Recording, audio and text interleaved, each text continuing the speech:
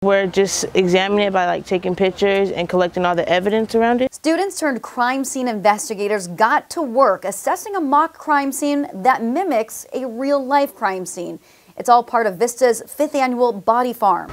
They are looking for any evidence. They're looking for decomp rates. Um, they're studying, collecting the entomology evidence, hair fiber, as well as processing a crime scene from the get-go. And they have to take it all back to the lab and analyze it and come up with the perpetrator who committed the crime. The students have to carefully navigate around crime scene markers, making sure they don't ruin any evidence. I have the hair and the fiber and the glass that we collected from it. And each student has an important job in solving this crime. I'm the one that's taking notes. She's, um, I guess, taking pictures. And even down to catching flies. Now we're trying to get a sample of the fly and the maggots to see um, what type they are, how long they've been there and everything. I get more fun out of watching them actually interact and actually get to do all the things that they've been learning and apply it. Even if they don't come up with, you know, the right perp, the process,